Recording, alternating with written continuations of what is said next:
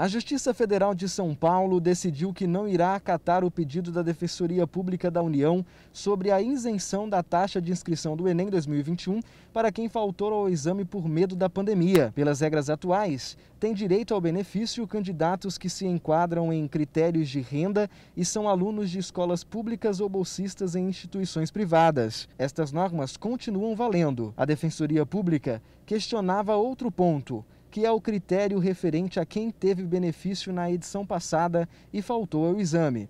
A Justiça decidiu que não irá mudar as regras. A taxa do Enem 2021 é de 85 reais, e as inscrições podem ser feitas até o dia 14 de julho pelo portal enem.inep.gov.br.